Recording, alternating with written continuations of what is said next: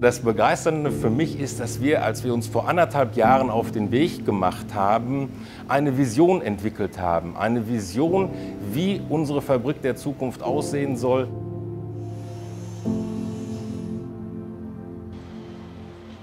Die Gesellschaft verändert sich, wir verändern uns mit einem Produkt. Warum nicht jetzt? Es gibt keinen besseren Zeitpunkt als jetzt, diese Vision auch in die Realität umzusetzen. Mit mehr Digitalisierung, neuen Technologien, die kommen, ist ja jedes Mal auch ein Umdenken erforderlich.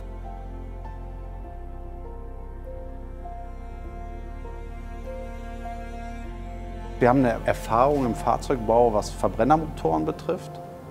Und 50 Prozent von unserer Erfahrung ist weg. Die gibt es einfach nicht mehr. Das heißt, alles, worauf wir Entscheidungen bisher getroffen haben, müssen wir neu erlernen. So haben wir eine Qualifizierungsoffensive für unsere Mitarbeiter gestartet.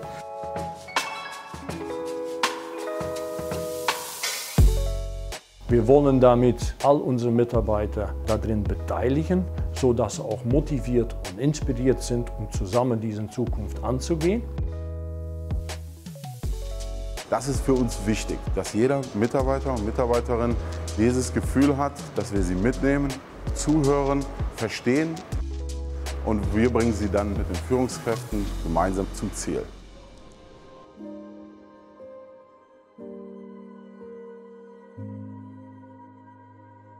Am Ende des Tages, wir erwarten sehr viel von unseren Mitarbeitern im Sinne von neue Prozesse, neue Abläufe, neue Technologien. Aber es ist die Rolle von den Führungskräften, den Mitarbeiter dabei zu unterstützen. Und dazu gehört auch das Coaching unserer Führungskräfte, die ihre Persönlichkeit stärken sollen. Desto sicherer unsere Führungskräfte sind, umso besser werden sie sich in ihre Führungsrolle versetzen und ihr Team über diese schwierige Transformationszeit leiten. Also wir haben natürlich dieses digitale Format auch gewählt, weil es sich ja sehr gut in das Produktionsgeschehen einbauen lässt. Es ist flexibel, es ist zeitgemäß, es ist digital, aber trotzdem ist es ja doch individualisiert auf die einzelne Führungskraft. Das finde ich eigentlich das Schöne an diesem Angebot. Von dem Coaching verspreche ich mir eine Unterstützung, mich persönlich zu festigen und wachsam zu bleiben, dass keiner der Mitarbeitenden sich selbst verliert, sondern ihn mit aufzufangen, zur richtigen Zeit mit aufzufangen, weil nur gemeinsam können wir diese Transformation gestalten.